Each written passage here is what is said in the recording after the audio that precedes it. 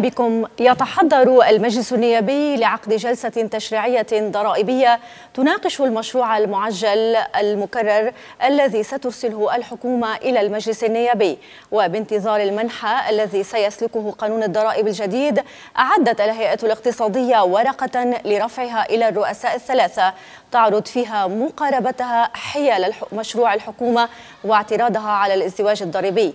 أما الاعتبار فأعيد إلى الموازنة ولو من باب خرق الدستور وتجاوز قطع الحساب. لتبقى السياسة الخارجية لا سيما حيال سوريا موضع خلاف بين المكونات الحكومية. وعلى وقع الملفات الداخلية تعلن ترشيحات ترسم ملامح تحالفات جديدة وأيضا تنسف تحالفات قائمة لا يسلم من تداعياتها تفاهم معراب مع ضيفي عضو تكتل التغيير والإصلاح المشرع المخضرم الأستاذ نعم طلة أبي نصر اللي طبعا أستاذ نعم طلة كان لك دور كتير كبير باقتراحات قوانين ومشاريع أصبحت نافذة. سأبدأ معك بهذه الاقتراحات. أهلا وسهلا بكم. يعطيك العافية. آه، طبعا الاقتراح الأخير يلي حضرتك اشتغلت عليه لفترة مطولة ولسنوات هو آه، إنشاء محافظة جديدة بجبل لبنان بكسروان وجبيل ويكون مقرها بجوني. هذا الاقتراح اليوم أبصر النور. أخذ هذا المسار الطويل. لماذا كل هذه السنوات؟ واليوم كيف سيطبق؟ كيف سيترجم؟ الاقتراح قدم بال 2003 تزامنا مع اقتراحين قدمهم قدمهما. النواب بعلبك منطقة بعلبك الهرمل وكذلك نواب عكا الطريق بالنسبة لهم كانت طريق عسكرية ما تجاوزت سنة. أنا أخذت معي 14 سنة ونص. المؤسف أنه انطلع عدة مواضيع. ما كان في تضامن ما كامل بالنسبة لنواب بحينا نواب جبال وكسروان وجبل لبنان. وكمان الموضوع الثاني تعرقل بلجنة البلديات ولجنة الدفاع والبلديات على أساس أنه هذا لازم يجي بمشروع قانون من الحكومة. صحيح. بينما هالنظرية هي ما اعتمدت لمن أقرت محافظة جبل محافظة عكار ومحافظة بعلبك والهرمل. يعني كان في هون آه، آه، ازدواجية بالتعاطي. صيف وشتي على على سقف واحد. آه هاي أخذت معنا وقت كثير سنوات. بعدين آه كمان اثيرت نقطة إنه ما في آه ما في آه تعددية ضمن ضمن المحافظة. تعددية يعني مذهبية. مذهبية. آه، يعني هيدي محافظة الموارنة آه، أو بهالمعنى هيدا مذهبيا.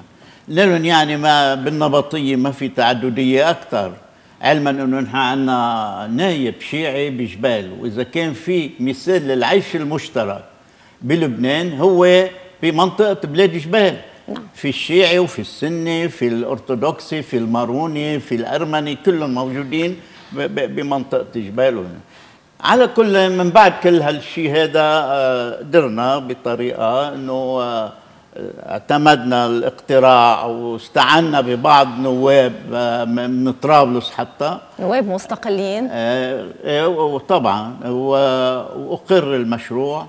وهلأ وفخامة الرئيس مضي القانون وبنتأمل هلأ يتنفذ لأن هذا له ضرورة كبيرة كثير لأن بمنطقة بمحافظة كسروان جبال آه، في 91 بلدية موافقين على المشروع وقدموا طلبات وقتها ودعمونا آه، في أكبر مؤسسات سياحية اقتصادية في 12 جامعة في 12 مستشفى في أهم مؤسسات سياحية عندنا كمان عندنا آه، عدد كبير من السكان كمان بيقطن مظبوط. كسروان وجبال. وعندنا كمان آه، قلعة جبال عندنا كل هالشيء كله يعني إذا بدنا نروح للمؤسسات في 80 مصرف بين جبال وكسروان. يعني إذا بدنا نروح ل يعني كل هالناس هو بيحتاجوا للدولة. يعني آه، بدل ما كل يوم يطلع 1500 1800 سيارة يمنع بكرة وبيجوا على الظهر. إلى بعبدة عبعبدة مشان شو مشان تي... هذا تيدفع الضريبة هذا تيصدع. امضى أستاذ مدرسة اعطي أعطي افاده مدير المدرسة. كل. هالأشياء هاي بتخفف بنسبة كبيرة عجقه السير باختصار هاي عم نجيب السلطة نقربها حد المواطن. تا هي تخدمه وهو يخدمها. يخدمها بدفع واجباته آه، تجاهها وهي بتلبية مطالبه باللقاء. هذا يعني هاي ضد الحصرية الإدارية اللي اللي حد هلأ كلبنان كله محصورة أكثر شيء ببيروت بيروت وضواحيها لما بتخف الإدارية آه، ساعتها آه، قصه عجقة السير والمواطن بيكون مرتاح أكثر بيربح ما عادش في تلوث بالبيئة ما عادش في عجقه عجقة السير هاي. ط- إضاعة الوقت بيطلع على بعبدا مش أنت يصدق بيقول له تعال بكرة تعال بعد بكرة. أنت لو بتعرفي كيف إجتني الفكرة بالأساس. هاي بال بال بال 75 آه، كسروان انعزل. تسكر طريق نهر الكلب انعزل ما عادش فيه يوصل على بعلبك على عبدة. أحد المواطنين له تعويض استملاك بسيط 15000 ليرة أو 20000 ليرة وقتها وعيزهم ما يقدر يقطع. بحاجة استاجر. يستأجر فلوكة. يعني مع- الصيادين تقدر قطع النهر. طلع بعبده قال له تعال بكرة ضيع نهرين من أصل 15 16 ألف ليرة محكوم له له فيه ولكن استاذنا عم طلع تبقى العبرة بالتنفيذ إذا أخذت 10 سنوات أو 12 سنة لأبصر هذا الاقتراح النور قد إيه بده وقت حتى يصير على أرض الواقع هو بحاجة لاعتماد مالي معين أليس كذلك؟ مزبوط بس ما تنسي شغلة إنه فخامة الرئيس نايب عن منطقة كسروان وجبال. فخامة الرئيس هو رئيس السلطة التنفيذية اليوم. هل وعدكم بتسريع من الاليات؟ دون من دون من دون ما نطلب هو بيعرف. نعم. واصلا نحن كمان بنطلب. نعم. هو بيعرف. نعم. شو بحاجة آه، هذا الاقتراح ليترجم؟ بحاجة لوجود إدارات بناء أول مؤسسات شيء أول شيء. يعينوا محافظ بدون ما يختلفوا على طائفته تعيين محافظ بالدرجة الأولى. وطبعا جهاز. والمكان موجود. مكان موجود. آه القائمة مقامية بتتحول لمحافظة وعمهلهم بيبنوا طابق إضافي بيبنوا دواير بس المهم يعينوا محافظ مع مع الجهاز العقد له من أمين عام وامين سر إلى آخره.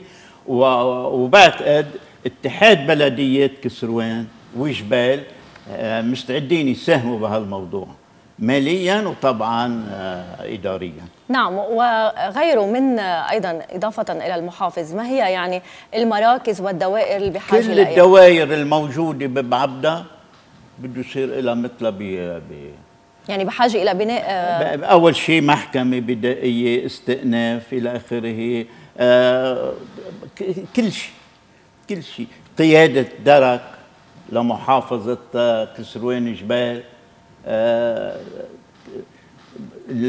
كل الوزارات تتمثل بالمحافظة. مثل ما مثل ما صاير ببعبدا بده يصير آه، بجوني وجبال. يعني الترجمة ميكانيك واللي بدك اياه وكله. يعني طبعا بحاجة إلى وقت وبحاجة لمال لترجمة هذا الاقتراح. طبعا هالشيء بده بده مبلغ. آخر مرة صرفوا لمحافظتي آه، بعلبك و- وعكار حوالي 100 مليون دولار.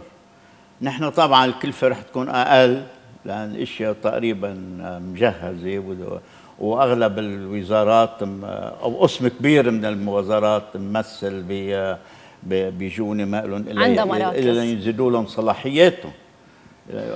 وبعتقد هالشيء هذا إذا أخذ سنة سنتين. بس أهم شيء يبلشوا بتع- بتعيين محافظ.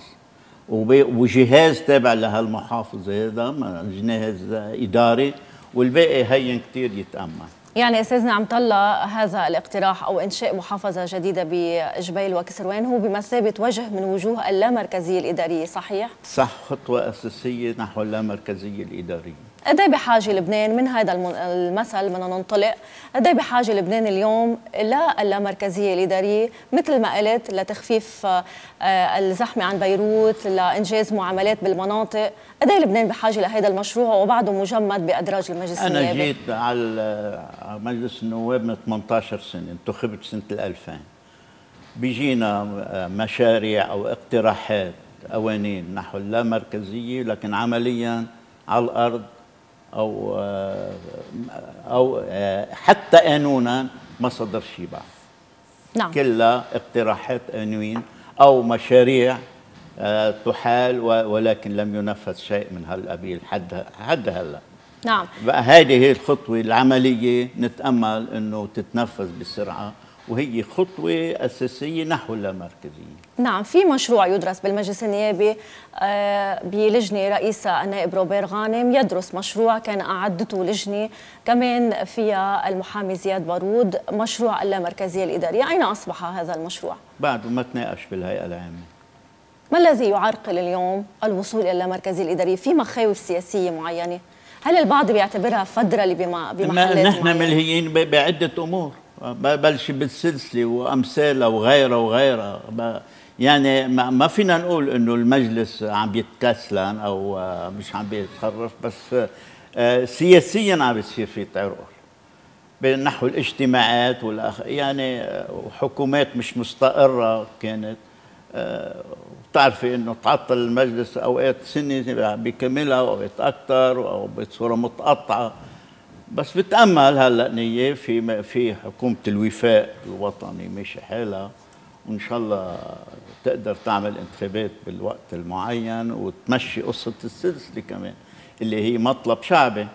أه بعتقد هيدي أه السلسلة أقرت ولكن تعرقلت شوي أو تعدلت بفعل قرار المجلس الدستوري. نعم. واللي نحن بنحيي هالقرار هذا معناته إنه بعد في مرجعية بلبنان تلجئ لها البعض انتقد قرار إيه. المجلس الدستوري إيه. اليوم. نعم. البعض اليوم انتقد قرار المجلس الدستوري.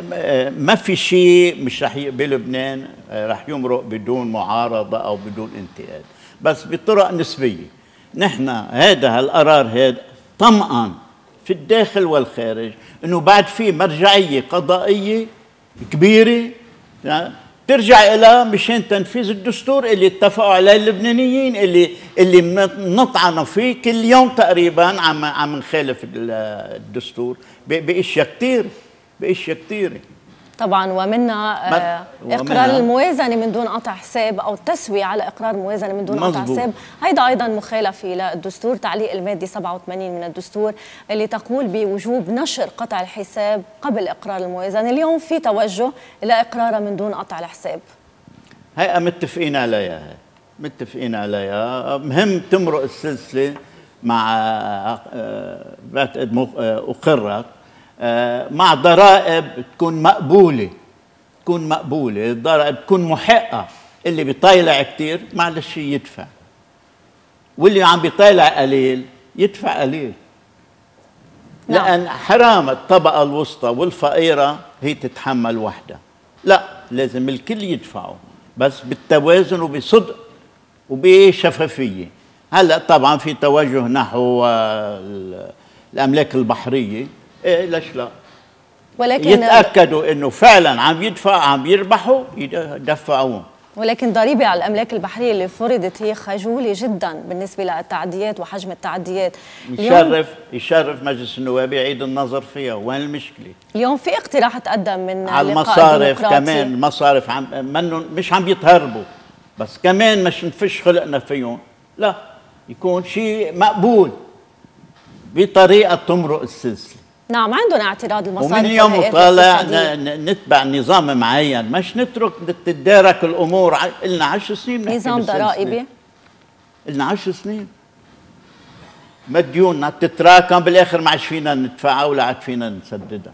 نعم اليوم في في انطباع إنه في محاولة للالتفاف على قرار المجلس الدستوري بإعادة فرض ضرائب جديدة تشبه الضرائب القديمة وهي تحصيل الضرائب من جيوب الناس. في في توجس وفي خوف من هذا الموضوع. ما بعتقد هلا من بعد صدور قرار المجلس الدستوري وتفتحت العين لدرجة صفى الشذوذ رح يكون أه، كثير خجول وإن شاء الله ما يصير. نعم عندك معطيات حول السلة الضريبية الجديدة؟ بالتفاصيل لا. نعم. والجلسة التشريعية اللي مفترض كمان تحدث عنها وزير المال علي حسن خليل مفترض تكون هذا الأسبوع. كمان في عندك معطيات عن قرب انعقاد جلسة تشريعية لمناقشة المشروع الذي سترسله الحكومة. أه، ما بعرف إذا المشروع صار جاهز هلا. لم يرسل بعد إلى المجلس النيابي. إيه. بقى لما بصير جاهز بعتقد ما بيتأخر دولة الرئيس إنه يعرضوا واخر مرة نهار نهارين ثلاثة مستعد. يعني هو بنحييه على جلد اللي عنده على الصبر صح. وعلى وهيدي ميزة موجودة عنده. إن شاء الله ولكن النواب لا تقابل دائما هذه الميزة. يعني كمان عم نشوف في جلسات تشريعية آه، تعقد لا يكتمل نصابها يعني في إهمال من عدد من النواب بتأمين نصاب الجلسة شدنا بالفترة السابقة بالأسبوع آه، اللي انعقدت فيه الجلسة التشريعية واللي ما اكتمل نصابها مساء لعدم حضور النواب. نحن هيك لازم بكرة في انتخابات. الكلمة للشعب وإلك أنت رح تصوتي فيك ما تعطيهم الثقة للنواب. نعم قبل الانتقال ما تنتخبيهم. ومددين كمان كذا مرة. انت عندك الحرية بكرة. آه الكلمة بالنتيجه للشعب.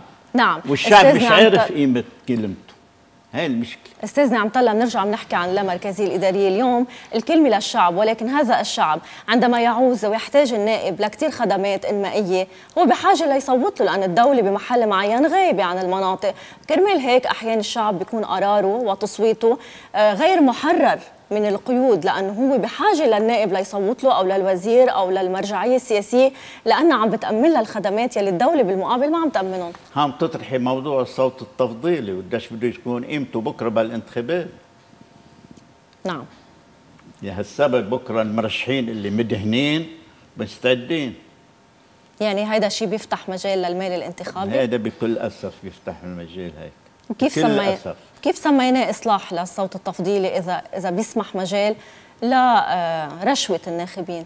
هيدا انعمل شغلة على السريع من سنين ما بكفوا تمديد ثمان سنين لنسج قانون انتخاب عادل محق. ما بكفوا كان بدهم أكثر نعم عندك اعتراض على الصوت التفضيلي هل عندك اعتراض كمان على البطاقة طبعا الصوت التفضيلي ضمن دائره انتخابية وحدة. لا بدي احصره بقضاء.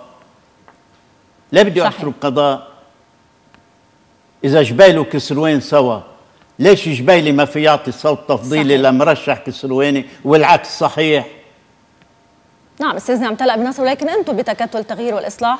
هيدا القانون مشيتوا فيه وقعتوا عليه بهي الطريقة وبهذا الاتجاه للصوت التفضيلي. بعجلة كبيرة. لأن ثمان سنين ما كفوا نعم. والبطاقة الممغنطة برأيك اليوم إن شاء الله تمشي إن شاء الله تمشي إن شاء الله يصير في انتخابات. ورح يصير انتخابات بعد. إن شاء الله يصير في انتخابات يعني في شك. عم نسمع البعض اليوم عم يتحدث عن إمكان تأجيل وتمديد رابع للمجلس ما بعتقد ما بعتقد كمان في اتهامات للتيار الوطني الحر إنه يسعى إلى تمديد للانتخابات. البعض يتحدث عن حسابات رئاسية معينة. ما سمعت فيها ضمن التيار أنا. ما سمعت فيها لو سمعت فيها. بحكي. نعم. بموضوع الانتخابات أيضا استاذنا عم طلع بنصر كمان حضرتك اشتغلت على موضوع استعادة الجنسية على حق المغتربين بالاقتراع. اليوم في هذه الدورة الانتخابية الانتخابات بعد أشهر قليلة هل سنستطيع أن نطبق آه، موضوع اقتراع الناخبين المغتربين؟ هذا موضوع اقتراع المغتربين. وتمثيلهم آه، يعني إشراكهم بالحياة السياسية. هذا هذا واجب هودي اللبنانيين قاعدين برا.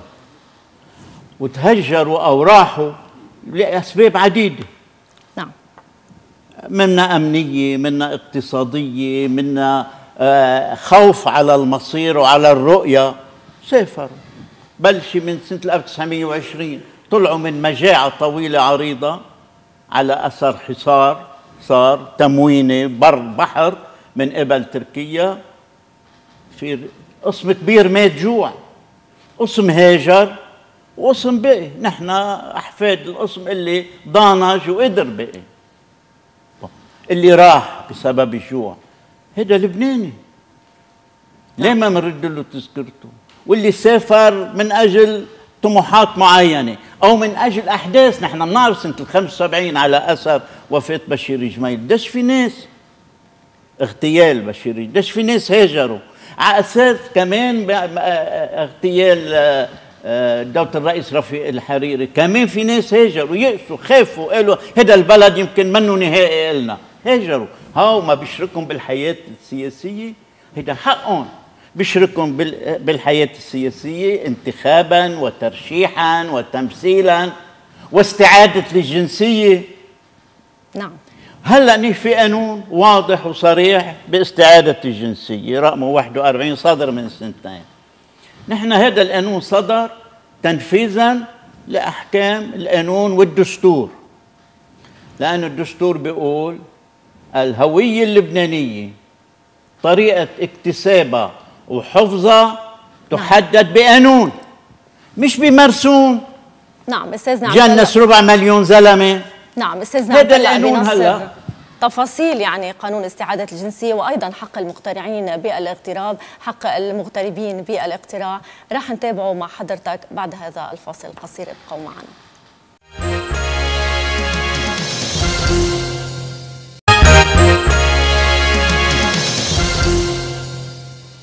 نتابع هذه الحلقة مع ضيفنا الأستاذ نعمت الله أبي نصر ونستكمل بموضوع استعادة الجنسية اللبنانية. القانون أقر منذ العام 2015 إلى اليوم مرت آه، سنتان. ما الذي تغير؟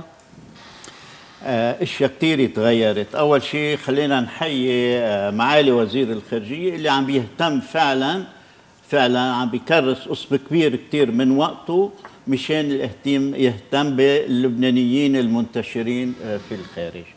عندنا بمعدل ثلاثة أو أربع مؤتمرات آه، للاغتراب بالسنة بين لبنان وخارج وعم بيلحقوا مطرح منهم هذا يعطي ألف عافية. نعم. القانون اللي صدر إن ما كان وافقوا مثل إذا ما رافقوا آه، حملة إعلامية بلش بالسفارات وبالقنصليات بحث اللبنانيين تيقدموا هالطلبات لأن هيدي deuxième troisième génération هودي جدهم جدهم راح. ما بقى يحكوا عربي. ما بقى بيربطهم بلبنان. ما بيعرفوا يتصرفوا. بدك تروح لعندهم تفهمهم.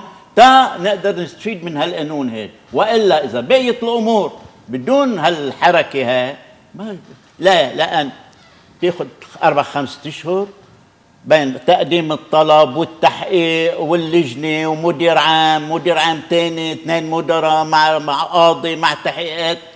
إذا ما كانش عملت كمان في واحد عم بيلاحقها ما بتمرق هلأ اللي مستفيدين بالمئات فقط. بل لما لازم يكونوا بالآلاف.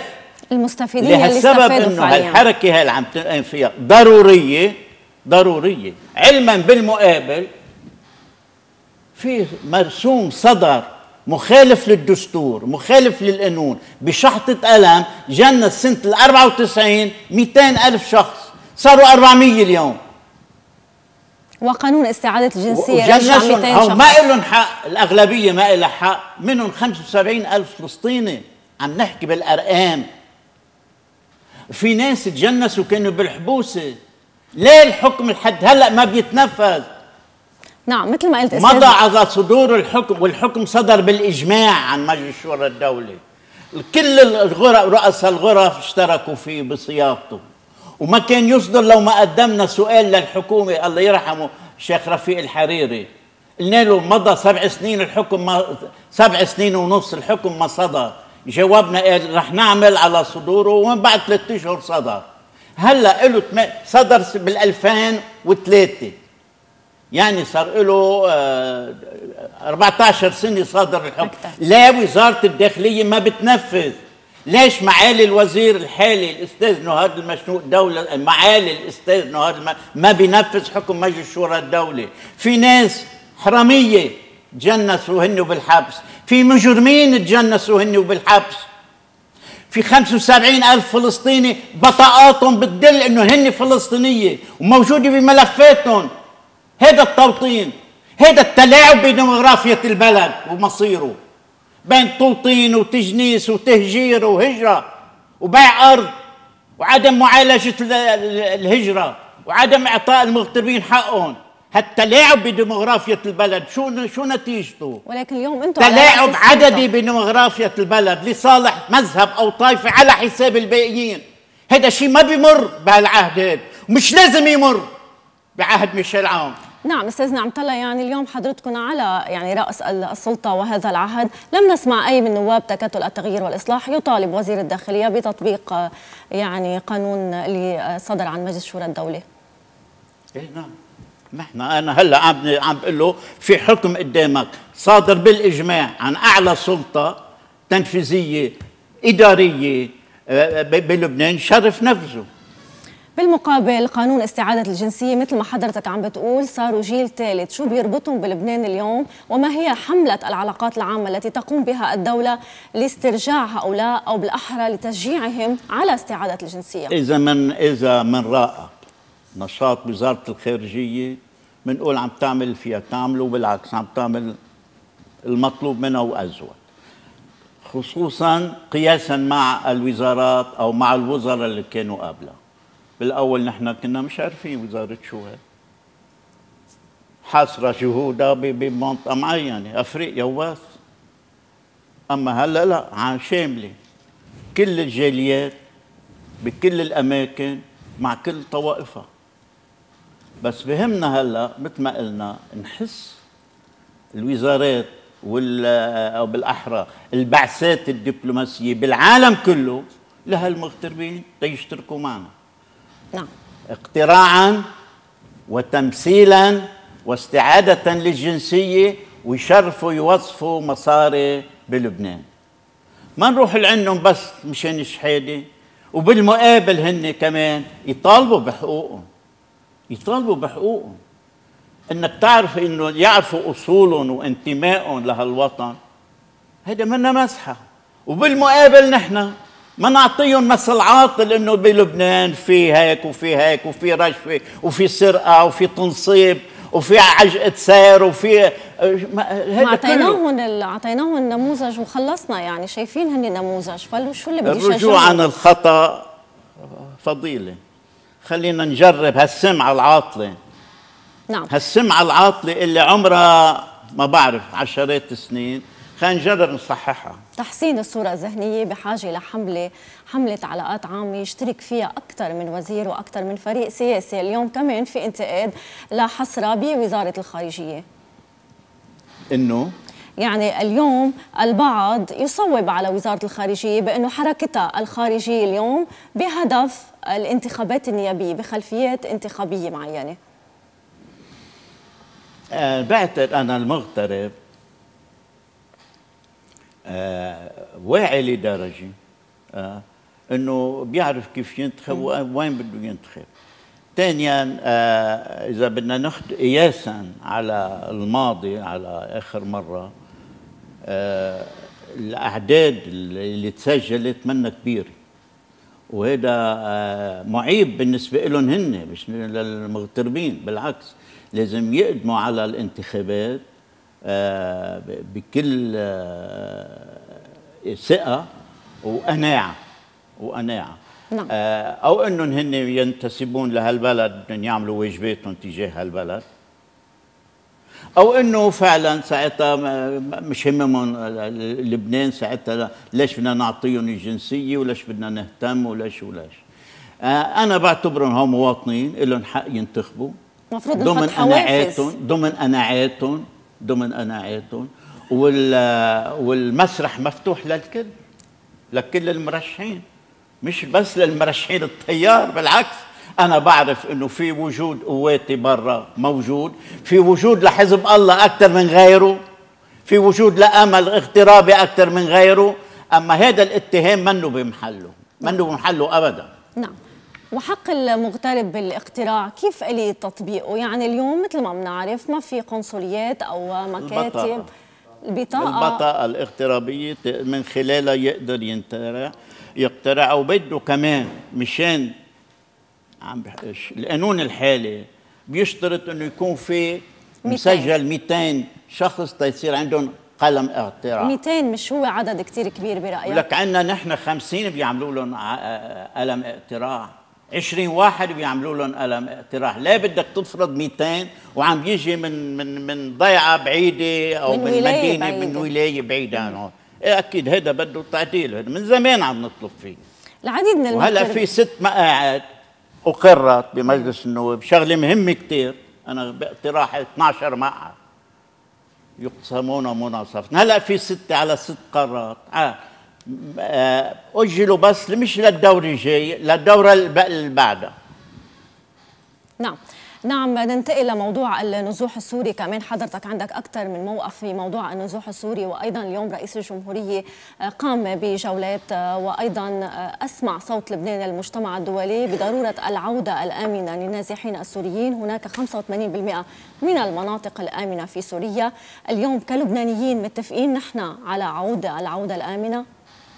كقوى سياسية؟ بكل أسف اللي عم بعرقل العودة سياسيين لبنانيين. على أمل أنه هودي لأسباب سياسية لأسباب أمنية لأسباب مالية أو اقتصادية. هو قد نستعملهم خي جيش مثلا الطائفة الفلانية مثل ما استعملوا الفلسطينيين بالسابق. وكان عندنا أحداث مميتة. يمكن هو يستغلوا. في كمان ناس عم بيجيهم المساعدات وهن عم بيوزعوها عم بيستفيدوا اثنينهم. اللي الموظف المرتشي اللي عم يوزع بياخذ حصة بيوزع حصة ثانية بيرجع هن مش عارفين مصلحتهم. مستقبلهم منهم بلبنان مستقبلهم بسوريا. لازم يرجعوا على سوريا. بيرجع سخرية القدر. هذه ضوى عنها السيد حسن نصر الله. دعاه السيد حسن نصر الله إنه للعودة كمان. اللبنانية بيعتبروا قاعدة أعمار سوريا ينطلق من لبنان. يعني نحن بكرة عم نستقطب آه، شركات ومؤسسات دولية ونقول لها بدك تروح تشتغلي ونلتزم بسوريا ونحن ما بنحكي مع سوريا.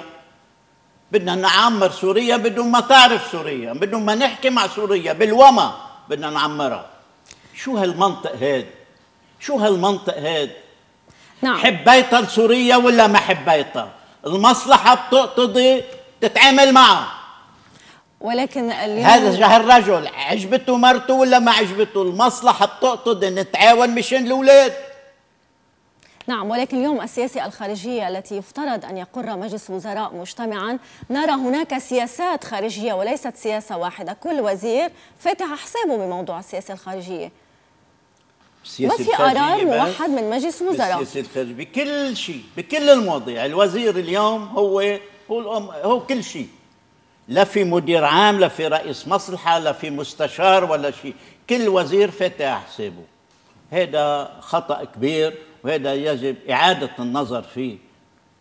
إعادة ما بعرف إذا كان يقتضي تعديل الدستور أو بالأحرى يصير في حوار جدي ضمن هالحكومة أو على صعيد وطني. مش معقول يكون الوزير هو مطلق الصلاحية. بنقي المنطقة اللي بده إياها بيشتغل فيها بيدعم الموظف اللي بده إياه بيطير الموظف اللي بده إياه ما بيصير هيك. مع فساد مخيم على كل إدارات الدولة. نعم الرئيس الحريري قال بمجلس الوزراء أنه غير موافق على لقاء الوزيرين المعلم باسيل. يعني داخل مجلس الوزراء هناك حتى مع حلفائكم اليوم في نظرة متباعدة جدا بالعلاقة مع سوريا. أول شيء الهدف شو؟ من هاللقاء. مصلحة لبنان؟ إجراء شيء الهدف شو هو؟ عودة عودة النازحين. مش هذا هدف كبير مم... هيدا هدف من أهداف كبيرة. آه مش هذا هدف وطني كبير وكل اللبنانية بينادوا فيه. ناس صوريا ناس من كل قلبهم وناس هيك الهدف نبيل. وثانيا آه، نحن بدنا نسكر الحدود على طول نحن وسوريا. ليش بالسياسة في خصومه بتدوم نعم. شو اللي بيعدل السياسة عند الناس؟ المصلحة الوطنية العليا. اتفاقيات تعدل من أجل المصلحة الوطنية. إذا وزير خارجية اجتمع مع وزير خارجية عايزه وبده منه يطلب تسهيلات مشان عودة هي فضيحة؟ نعم قبل ما نختم بدنا ننتقل لكمان اقتراح حضرتك اشتغلت عليه إعلان دولة لبنان الكبير يعني إقرار يوم آه، لدولة لبنان الكبير ذكرى. آه، بمناقشات الجلسة التشريعية شهدنا أن بعض الأفرقاء السياسيين أخذوا النقاش إلى مكان سياسي. اليوم هذا الاقتراح ألغي؟ هذا الاقتراح لا وعدنا فيه دولة الرئيس قال لي اتركوا الأمور علي رح نحوله على لجنة الإدارة والعدل. وعدنا أنه بده يمشي. بالآخر قال لي ما بتوثق فيي نعم. أنا بوثق فيه طبعا إذا وعد بيوفي بس المفاجأة كانت إنه ليك في معارضة. هذا الاقتراح عم بيخرج اللبنانيين من وطن جبل لبنان الصغير نحو رحاب دولة لبنان الكبير. بضم بيروت الشمال الجنوب بعلبك البقاع. هذا لبنان الحديث مش لبنان الصغير المتقوقع ولكن شو أهميته اليوم؟ شو بيضيف اليوم لهذا الاقتراح؟ هذا مهم كثير ببين أنه نحن طلعنا قررنا ننفتح نتعاون كل كل المناطق جغراف وحدة جغراف وحدة جغرافية وحدة شعبية سما كيف وطن واحد لا بديل عنه. الاعتراض كان كان إنه آه، الحدود الحالية ما ضمت القرى السبع صحيح. إذا في زميلنا الأستاذ حسن يضم القرى السبع آه، إذا في ضم كل فلسطين على لبنان وتصفي وطن قومي لبناني. ما عندي مشكلة أنا. أكيد موافقين يضم القرى السبع بس كيف؟ باي طريقة. نعم شو الأسباب الموجبة للاقتراع؟ بعت بعت هذا حتى منه آه، نواب حزب الله منهم ضد أدلوا بهال بهالفكره هاي. آه، مشان تعديل يمكن الأسباب الموجبة لا أكثر ولا أقل. والاقتراح رح يمرق. هل تم تعديل لأن لأن وعدنا وعدنا من آه، بمروره بس أنا بتأسف إنه ما كان في بالعكس آه، النواب المستقبل أيدوا المشروع. النواب المسيحية ما كانوا ضد بس ما شفتهم ما كانوا معه كثير ما, صحيح. ما شفنا كثير متهوسين وهيدي نقطة منا كثير لصالحنا. يعني حتى كمان زملائك بتكتل التغيير والاصلاح ما دافعوا ما كانوا ما كانوا ضد. ما كانوا ضد. ولكن ما دافعوا. لا يعني يمكن تطمينات دولة الرئيس طمنتهم إنه راح يمروا نعم.